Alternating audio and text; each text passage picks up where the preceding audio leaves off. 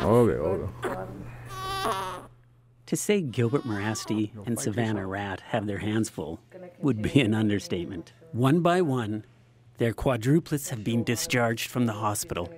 They have three here, not that Gilbert can hold them all at once. There you go. Oh no, she didn't like it. Mom.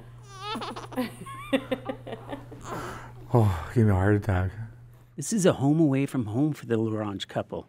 They've been staying near the hospital at Saskatoon's Ronald McDonald House since giving birth to quadruplets on leap year day. This is Aaliyah. This is beautiful. And this is Dominic. Cecilia, the baby who stayed the longest in the hospital, was just released over the weekend.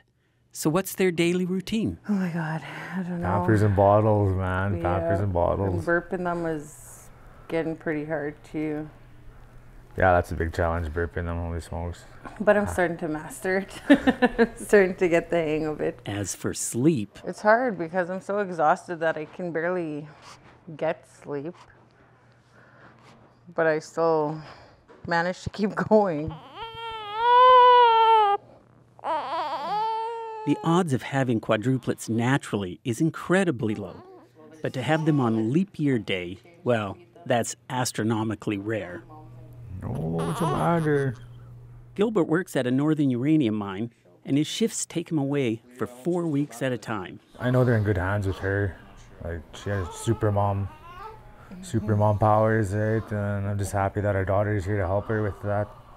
So yeah, it's really, it's really yeah stressful, I guess. The couple already have five children between them, so the quads make nine, each one with their own personality. They're all very grunty, like bossy. She's the boss though. he's he's a, more of a crybaby. He's a baby. She's really mellow.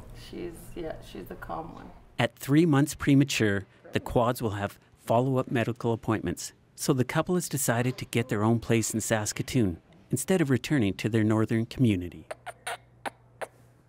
Despite the initial shock, the extra work, and the lack of sleep, the family is overjoyed. Such a heartwarming feeling knowing I have all these babies I could just turn over, hug that one, turn the other way, hug that one, then the other, and then the other. Scott Larson, CBC News, Saskatoon.